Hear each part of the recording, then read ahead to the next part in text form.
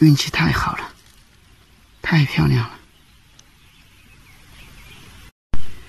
今天的收获不错啊，看一下，太漂亮了，大的小的都有。